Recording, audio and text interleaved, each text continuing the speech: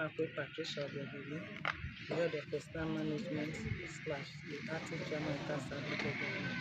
Oh, okay. Thank you.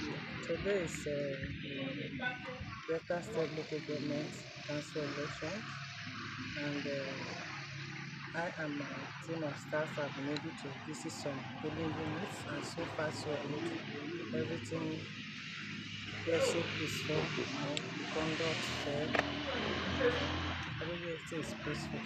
Well, since uh, my advice is that uh, when they come, usually they have to study the system and know how to handle the system effectively. Because if they are just coming from their exams, they are entering into the system. We are the administrators, we are to guide them, and once they listen to us, they will be able to perform uh, achievement we have recorded so far is that uh, the environment, if you look at this council of government, see it's looking very clean. If you go to the town, uh, the governor gave us money to start uh, sanitation work, and everything is looking so clean.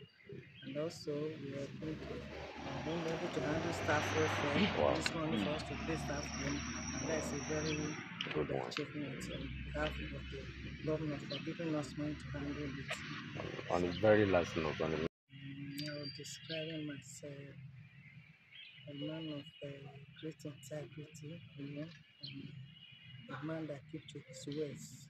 You know, he said, go and gather sanitation, do this, do that, and uh, he's been monitoring what we are doing too. Talks of the time uh, areas of uh, insecurity, once there's an insecurity problem, we forward the message to him, he takes action, and uh, everything's working out. He's a humble man, and uh, you know, when you hear his name, Sheriff, Sheriff, you see a very tall man, but when you see him, he's very humble and amiable. So that is it's a you know how to do very well. Of course, we are administrators. All right. We work as administrators. All right. Okay. Thank you your name very once again. Mmakwe Patricia Obiageli.